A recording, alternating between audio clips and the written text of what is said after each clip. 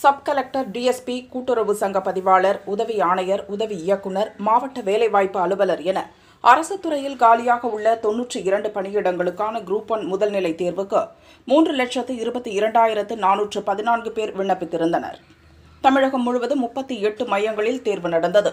ஒரு லட்சத்து தொண்ணூறாயிரத்து தொள்ளாயிரத்து ஐம்பத்தி ஏழு பேர் மட்டுமே தேர்வு எழுதினர். ஒரு லட்சத்து முப்பத்தோராயிரத்து நானூற்று ஐம்பத்தி ஏழு பேர் தேர்வு எழுதவில்லை.